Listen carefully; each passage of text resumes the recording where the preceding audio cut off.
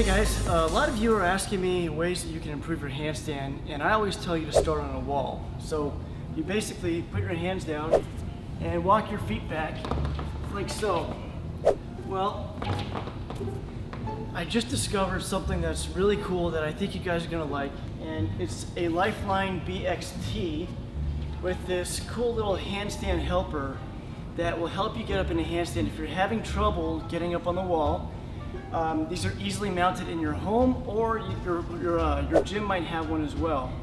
But you basically put your arms over here like this and walk your feet up like so.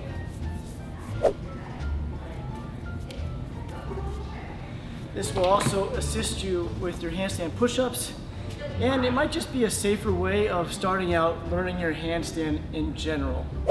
These straps are adjustable so as you get stronger or as this gets easier, you can reduce the, the help or increase the help if you're just starting out.